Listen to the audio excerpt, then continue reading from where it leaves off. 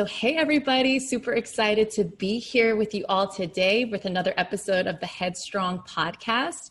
Um, I'm your host, Danielle Mills, and I'm super excited because we have a really, really special guest.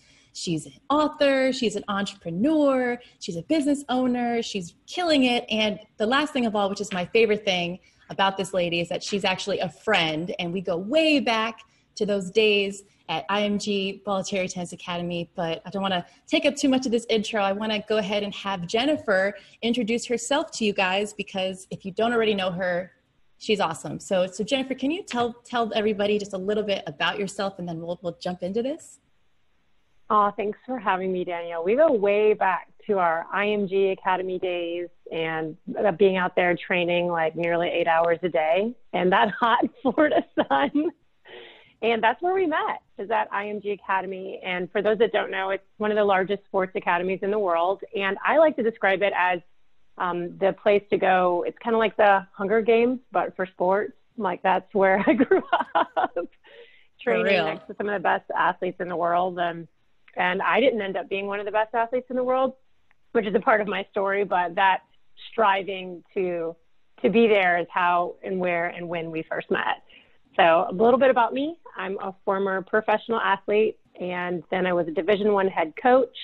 Became a stay-at-home mama, and that transitioned to being a business owner. And I became a business owner and a single mama at the exact same moment. And I had my own business for about five years. That, that led into consulting, which led into speaking. And just recently, about um, earlier this year, I took the reverse leap of sorts because everyone wants to leap into entrepreneurship. I left it back into being an employee. And I thought that was going to provide me with some awesome stability. And I became an employee again. So that's where our story and that's where we're meeting right now has kind of linked up. Wow. So so talk to me about what was it like going from being in full control of everything that you do as an entrepreneur then to going back to being, you know, an employee? Like what made you want to go back? So the biggest thing was that I realized that employees get paid on the 15th and the 30th of every month. and I couldn't believe that because whether you do a good job or not, you still get paid, which blew my mind being an entrepreneur. And um, I decided that's what I wanted was a little more stability. So I got hired by the uh, amazing sports and entertainment agency out of New York City. They're, they're a global agency. And it's, it started off with a bang. It really did. It was kind of like the dream job. Wow. So, so talk, I mean, you go from from being an entrepreneur to like getting your dream job. Um, how was it though? Like, did you feel like everything was exactly like you expected, or was it? Did anything change? Yeah. So I basically uh, was flown to New York City with the agency, and I opened up the offsite. I spoke before the North America CEO and the global CEO who had flown in from London and that was amazing. And the next day, I presented to a billionaire on the 40th floor of this big building uh, overlooking Central Park. And like, I'm on top of the world, right? This is all of my giftings and skills coming together, and I'm just so thrilled. And about like 86, 87 days later, I'm laid off due to the current uh, thing that everyone has been going through, which is like the COVID coronavirus crisis. So I went from literally being on the top of the world to below zero uh, in no time at all. wow! Oh my gosh! I know a lot of the listeners on here can can totally relate, or they know somebody who has experienced being laid off. Um, Jennifer, what what do you think? How do you think you you handle that, and what did you kind of do to to deal with that? I know it must have been really hard. Yeah. So what's interesting is there's a lot of um, let's say, shame around losing your job. There is. I mean, everything that's connected with having a job, it's your security. For a lot of people, it's their identity, but then also it's your health care. It's the way that you provide for your children. And for me, I looked and I'm like, I have felt a lot of shame before, like not making enough money to be able to, you know, take care of my little guys. I have two young, um, and I would say small, but they're pretty big little kids. They're eight and five. And when my little guy, my my five year old turns to me and asks me after I'd been laid off, like, "Mommy, do we have enough money for food?" That does something to you, right? It just kind of breaks you in a way that you're not expecting. And so for the first time in my life, I went on LinkedIn and I usually wait a couple years before I even talk about emotional things publicly. And I just decided to write a post about where I was at and be very transparent and share it with people. Yeah, that that is so courageous that you decided to to put it all out there on LinkedIn. I know me personally, I'm I'm kind of the same way. Like when it comes to something so personal and you know it's really hard, I'd be you know a little little um, scared to to put it out there like that. What made you get the courage to to put it out there, and what did you think the response was going to be? Were you expecting yeah. it to to to do as well as it did? Right. I, I'm a big consumer of podcasts like these. And um, also, I listen to a lot of thought leaders. And I just had noticed during this crisis of, I mean, over 20 million people have lost their jobs that they haven't really identified that they're disconnected from their audience. You know, a lot of them are coming at you from their personal gym or they're eating a meal that was just prepared for them by their staff. And like, no offense, like I understand the hustle that it took to accomplish those things, but you know, I didn't want to see like another celebrity like quarantining their partner in their house on the property of their other house. And I'm like, okay, now this is getting a little out of control. So what I mean by out of control is where is the everyman? Where is that person who is broke, who is dealing with this struggle and this crisis in a way that I can relate to? And Cicero has a great quote that is, I criticize by creation, not by finding fault. So I said, okay, instead of criticizing all these people, I'm going to create and I'm going to be real and say, yeah, I'm broke. And yeah, I'm laid off. And the post started off with, I am, I'm not special. Um, yesterday I was laid off. And that's how it started. And it's a short post, but it tells a bit about my story and it went viral.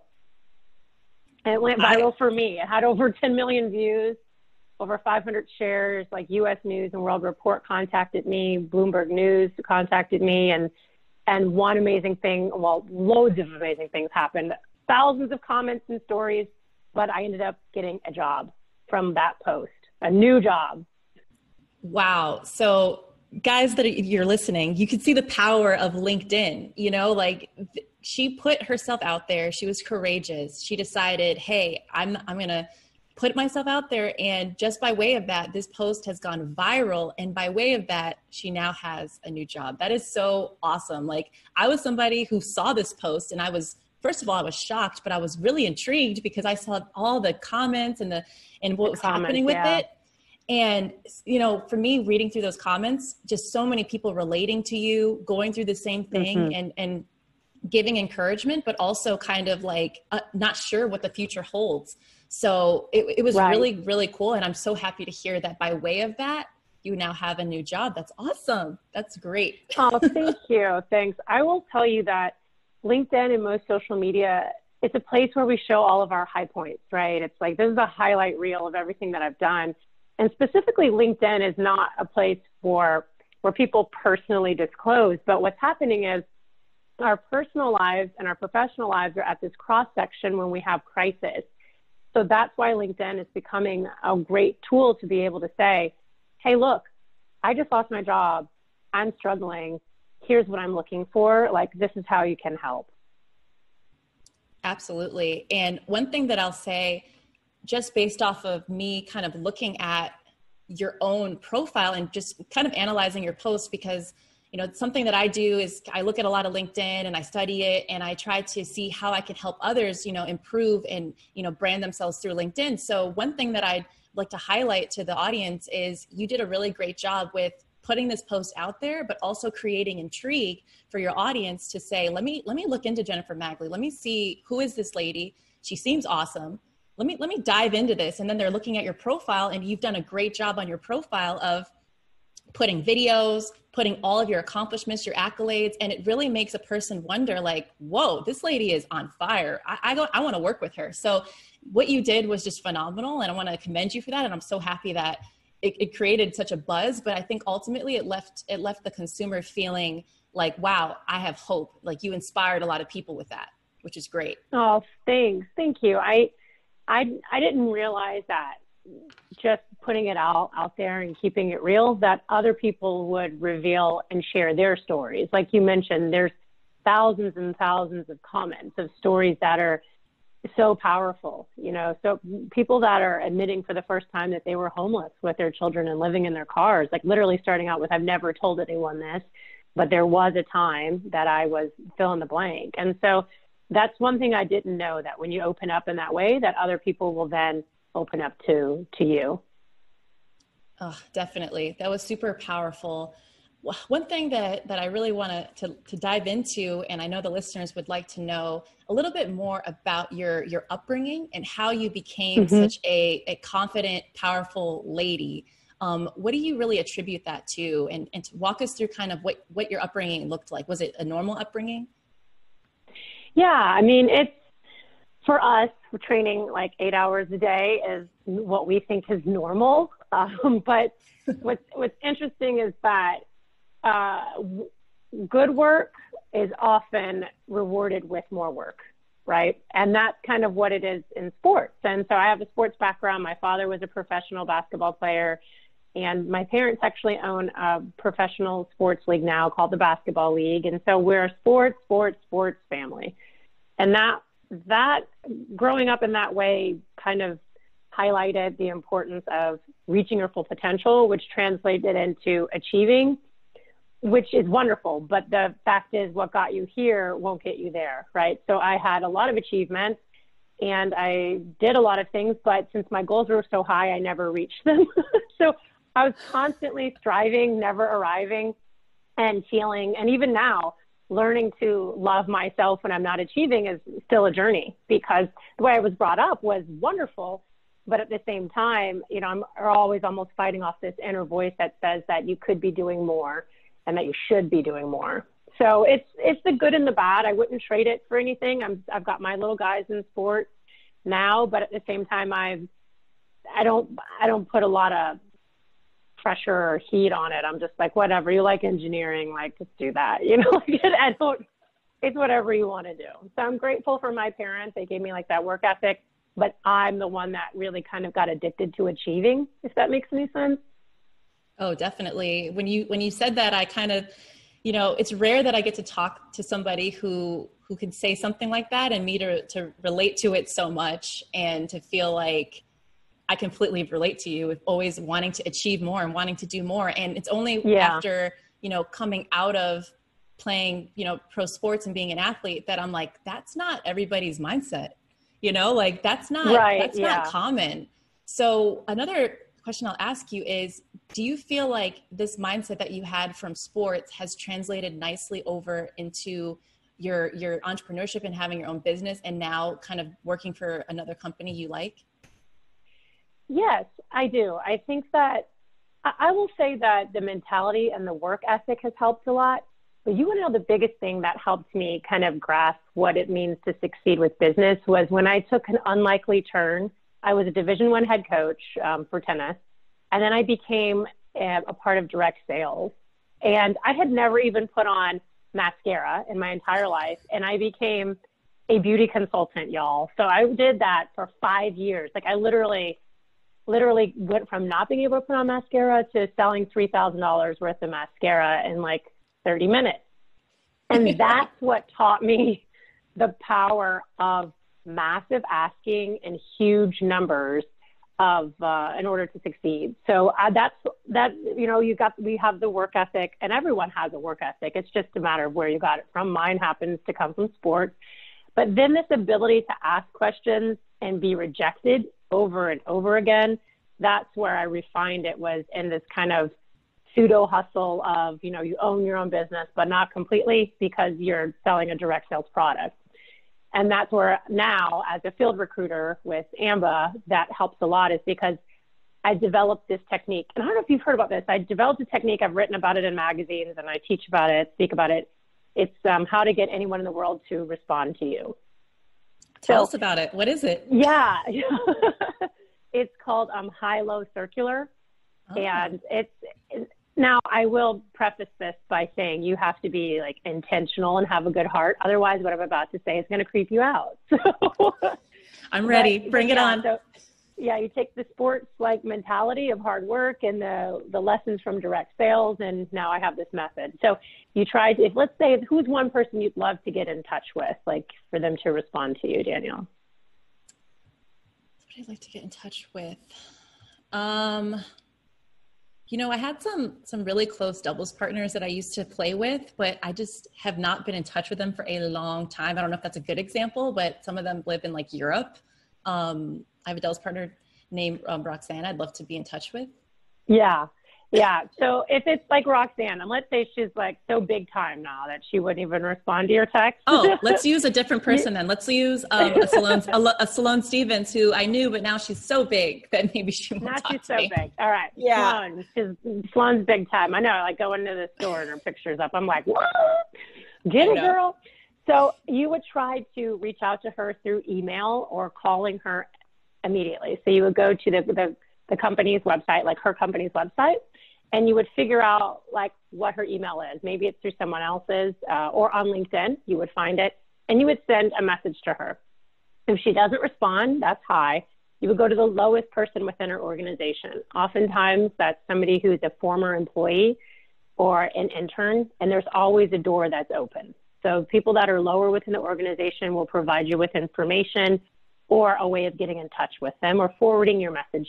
And if that didn't work, you would draw a circle around her and you would figure out what the touch points were of her life and intentionally connect with people and say, hey, you know, this is what I'm interested in. I'm interested in getting in touch with her. Or you could lead with, I too care about children that are hunger at risk. So how can I plug into this organization? So what happens when you plug into the people and around the circle is that eventually the person in the middle will say like, I've never heard of Danielle. You know Danielle? Oh my gosh, you know her? And then they will be inviting you to lunch. And so that is the high-low circular method that I've Wow. created and that I take from direct sales and also applied now as a recruiter of getting people to respond. And even no is a response. yeah, that is that is awesome because so many people like I don't know if you've watched a lot of um or you're familiar, of course you're probably familiar, but you watch a lot of like Gary Vee and Yeah. he talks a lot about how he tells people, you know, if you want to do something, you got to reach out to people and be in their inbox and then people will come back and say, "Well, I reached out to like 20 people and nobody responded." And he's like, "Bro, you didn't do any work. You got to do this and be consistent." And and I love how you just explain that that method because there's so much strategy involved with that and the chances of you connecting with the person goes up immensely based on following that strategy. I think that's awesome that you share that with us. That's awesome. Oh, oh, thanks. I, I strongly believe in layering people. And that's something that it's like, okay, you got in touch with them, but now what? Let's say they told you no.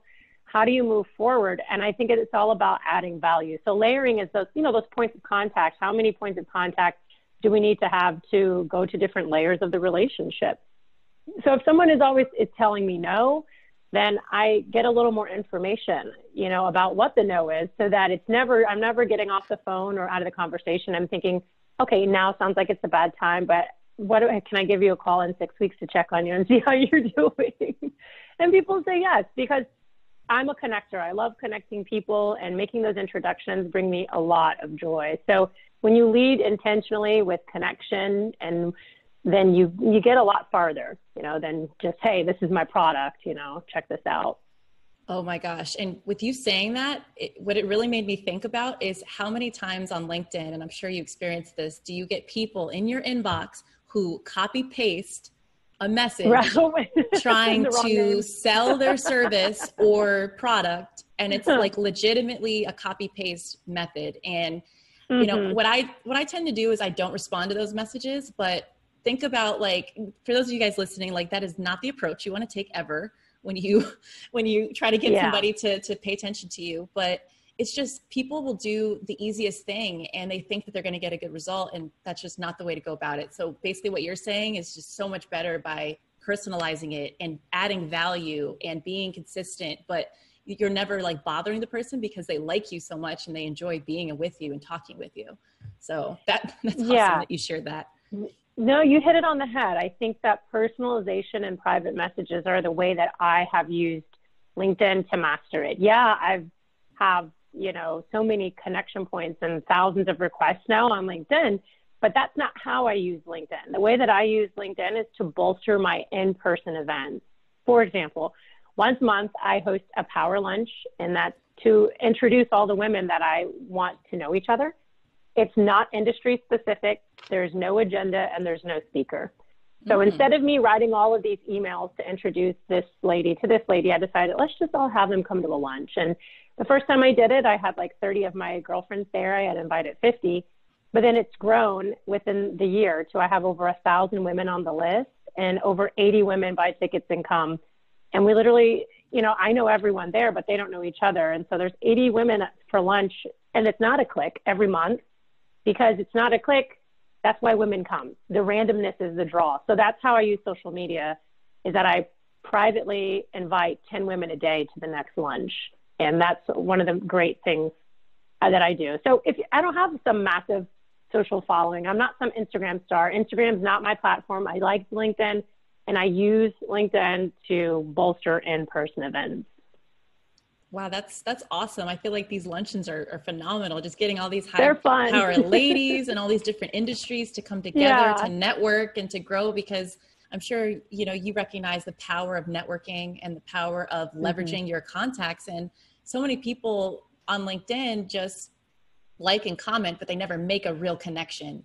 And I think right. it's awesome that you're fostering those relationships through through the through these luncheons? I mean, are they all in Indiana? Like, I want to go. yeah, I know. Yeah, we need to take, take this show on the road. And yeah, think, maybe like, a virtual one, the, one for now. Yeah, one of the things that that I am obsessed with, and I read a lot of books. Like I'm compulsive, so this year I'm trying. This month I'm trying to read 15 books, but each month I'm reading between like five? 13 to 15, mm-hmm, like 13 okay. to 15 books a month, audio and paper books. I just I figured if Warren Buffett and Bill Gates read like a couple hundred pages a day, I need to read like thousands of pages just to, you know. So, um, anyways, uh, I read a bunch of books on storytelling and asking and also negotiating. So, all of that leads into being able to create and craft very succinct scripts. Mm. Um, so, hmm. for example, if you're going to send a message to someone on LinkedIn, you can say, Thanks for your connection. I have the monthly lunch uh, and with like two ex- two sentence explanation. Uh, would love to invite you. What's your email? Or if you have an ask of someone, I'm a speaker. I do I do a lot of closing keynotes, like usually two three thousand people a year. It's really great. And if I am pitching myself to speak, I'll say, "Thanks so much for your connection. Um, I do a lot. I do mostly keynote talks. Are you able to keep me top top of mind next time you need an MC or host for an event?" So the, the close is there's always a call to action, but the close is a very soft one. Are you able to keep me top of mind? Wow. You are you're giving the the audience so much value right now. Like this is oh. awesome. this is awesome. I I'm just so excited to to see like what what you have coming up. Like let, let me ask you this though because we know we're all dealing with COVID-19 and most of us are in our in our houses, in our condos, in our apartments, and we're, you know, at home. What have you been doing to to maximize this time at home? And how do you think you will be when you come out of this? Yeah, so I'm I want to preface this by saying I know I'm compulsive. I know I'm a recovering perfectionist people pleaser. And I also know that I'm really dependent on achievement to feel certain feelings. So those are things I'm working through. So I just want to say I'm aware everyone's different. For me, that has been continuing my morning like rituals of waking up super early and reading and doing, you know, journaling and exercising. And I've started writing a book. Now, those are all like the goopy Gwen things, Gwyneth Paltrow, which I don't know what to think about goop, whatever. But that's exactly, you know, something that someone from that there would say. Now, the other part of me, when I'm not achieving those things um, during the day, says, just do whatever causes the least amount of shame and the least amount of self judgment for yourself. So if you say, oh, I want to do all these things and you don't do them, who cares? Like, it's not that big of a deal. If you just want to relax and watch TV, own that. Like during this time, during COVID, I just caught up and binge watch. Like that's nothing to be ashamed of. Like we all just need to do what works for us. So that's what I would encourage like people to do is just do whatever causes the least amount of like self judgment.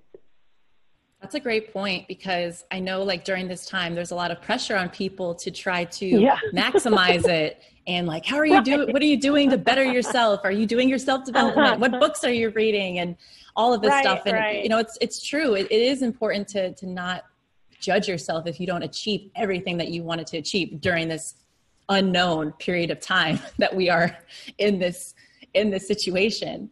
So I'm glad that that you that you mentioned that. Um, on the topic of books, because I know this audience is a audience that does want to better themselves. What would your top three books be at the moment, or maybe your top three fa- uh, favorite books? Yeah. So the book, probably the top three books that I've read recently would be. Um, this one was in 2019, but it's Chris Voss's "Never Split the Difference." Oh my Have God, that one. incredible. I haven't uh-huh. read it though. So good. Oh, read it. It's a former FBI hostage negotiator. He teaches you how to get everything you want. Ooh. Really, really good. Yeah, I I love it. And it gives you scripts. It gives you scripts of how to handle different situations, whether that's pricing or if you do a lot of consulting or freelance work, like how to do these things because nobody teaches us that, right? Especially mm-hmm. as women, nobody really teaches us that. The second book is I actually have it right here. Now, this is kind of like nerdy, nerdy, but um, Lisa Lisa Cron's um, Story Genius. I would say it's a how to use brain science basically to tell a story. Mm. And you may not be looking to write fiction in the way that she's she's uh, basically encouraging the reader to do, but it allowed me to see that we're all living our own fiction.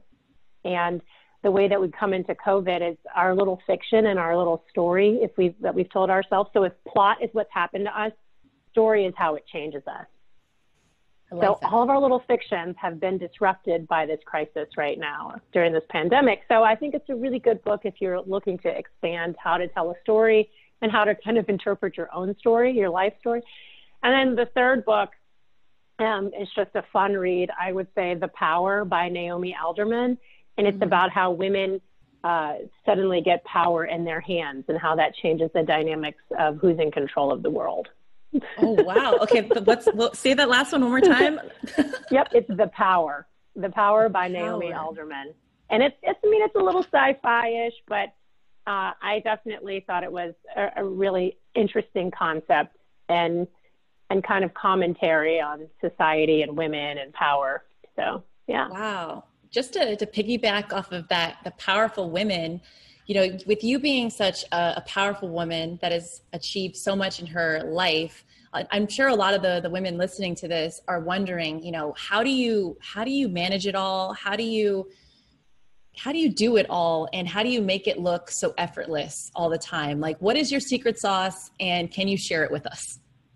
You're kind. And the answer is I don't. It is a hot mess over here. Um, literally a mess. Like at the beginning, I was shifting the screen so you wouldn't see the mess in the background.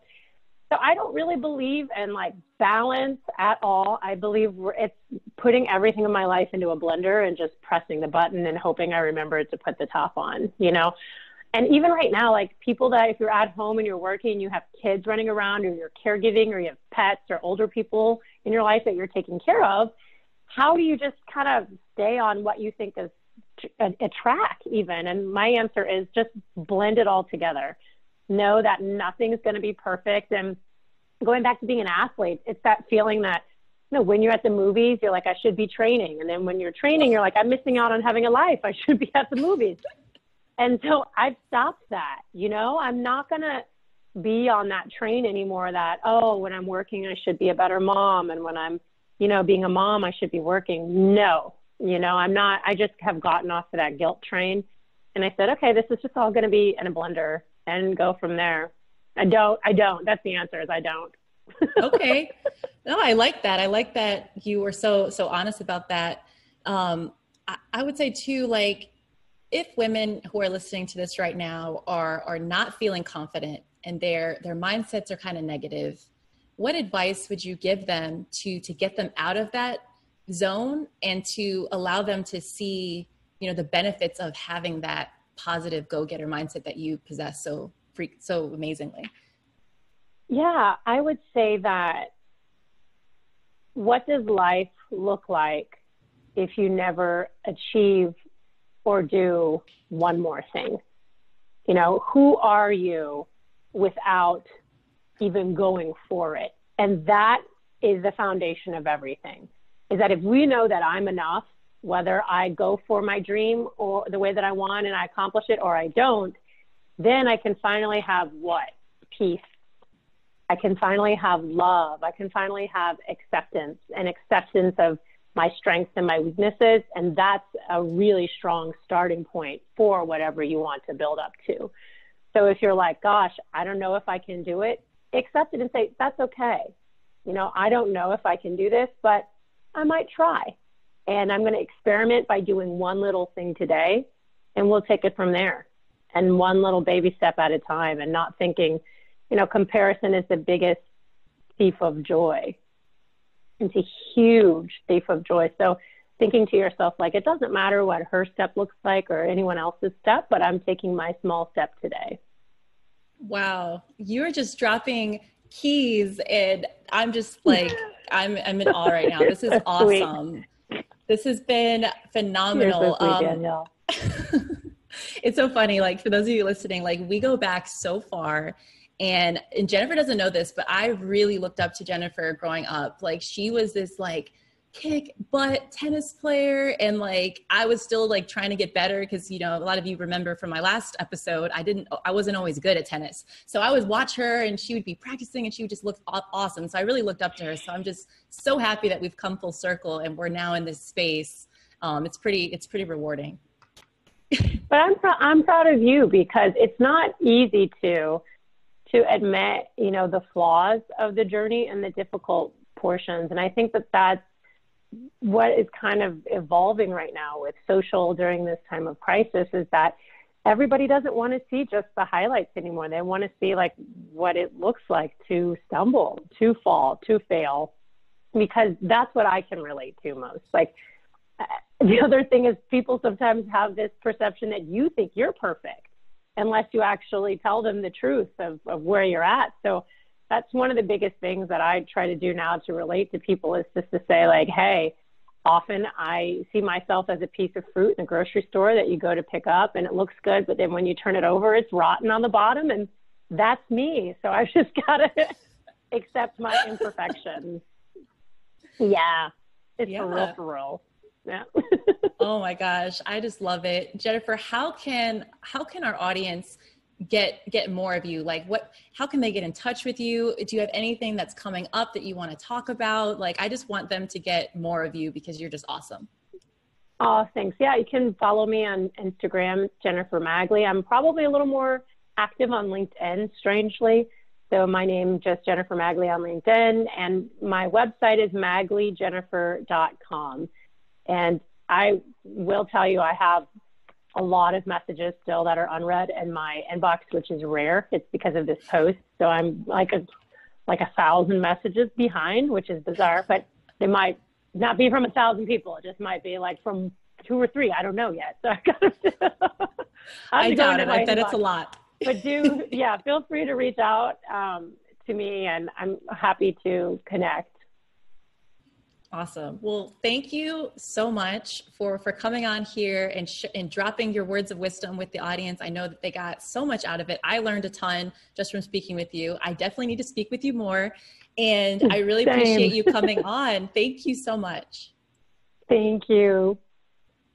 All right. Bye, everybody. Thank you for tuning in to this week's episode. Um, every week, we'll come through with more guests, bringing you more value so that you can get through whatever you're going through and improve your mindset and reach your fullest potential. So we appreciate you and, and talk to you guys next week. Thank you.